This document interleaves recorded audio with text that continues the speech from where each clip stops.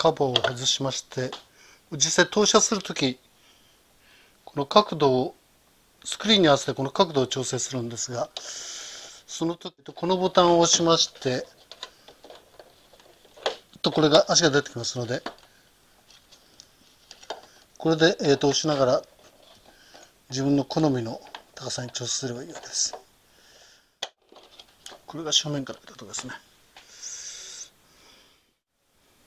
左側面ですがやはりこう穴を開けて風を通すための穴ですね。反対側面も同じようにこう穴が開いてますね。えっ、ー、と HDMI の入力の1 HDMI の入力の2ですね。それから USB それから PC から入力。それからオーディオのインとアウトですね。えー、と上から見たところなんですが、えー、こちらが前面です。でまずこの扉を開きますと,、えー、と2つダイヤルがあるんですが、えー、と奥側これが、えー、とフォーカスです。